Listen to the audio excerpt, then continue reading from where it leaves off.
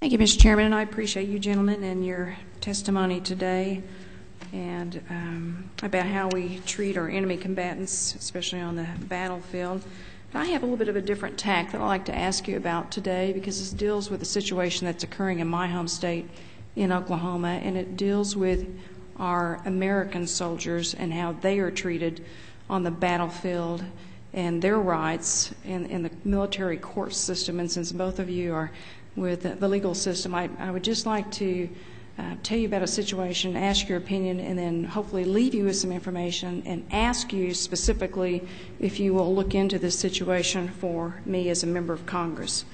And let me, let me just start out. Um, I heard uh, Mr. Forbes asking uh, Mr. Johnson about um, the goals of the administration in relation to detainees and their rights, and I, I think you said that that uh, the administration's goal is justice for the victim and uh, of terror and also for the U.S. citizens. In other words, there should be justice for all when we talk about our, our military courts.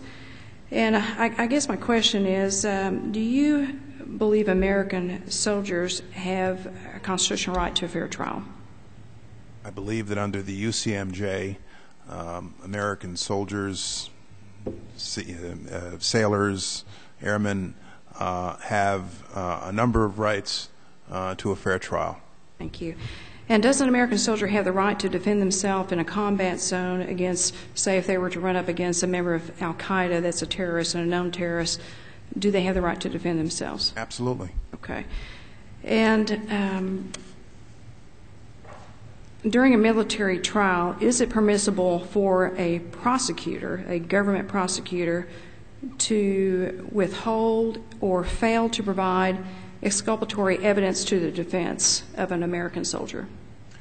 Um, well, first of all, uh, as a former prosecutor myself, uh, I, I, hesitate to comment on what somebody did in a particular trial or a decision made in a particular prosecution and so I wouldn't want my comment to be interpreted as that. Okay, well, I I'm know that as a general matter, Yeah, in general. um, prosecutors, the government has an obligation to disclose exculpatory evidence. Okay, good. That confirms that. Okay, so in your professional opinion, would an American citizen, a soldier, be given a fair trial if evidence is withheld purposely from the defense that's exculpatory? Um, as a general matter, again, I'm not pro- I'm not commenting on a particular case as a general matter, prosecutors have an obligation to, disclose exculpatory evidence, and if they don't, there should be consequences. Good.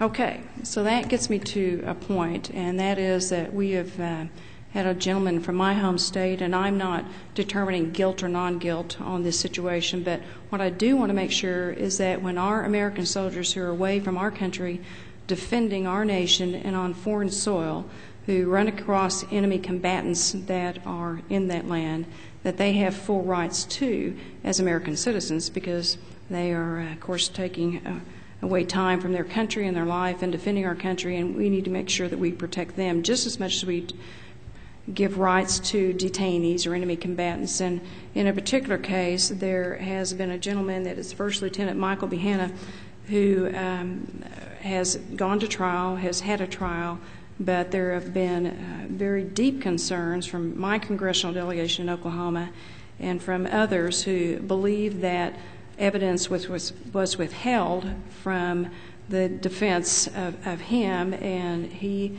uh, was accused of shooting an, an Al Qaeda member who had just killed two of his fellow soldiers in his platoon through an explosive device.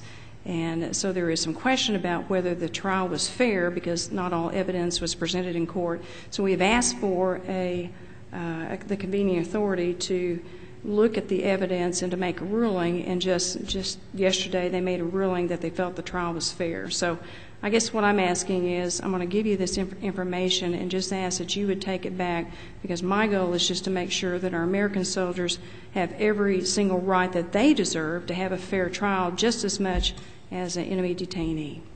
Um, uh, Congresswoman, now that you mention the case, I am aware of the case. Um, the Secretary of Defense has received correspondence about the case.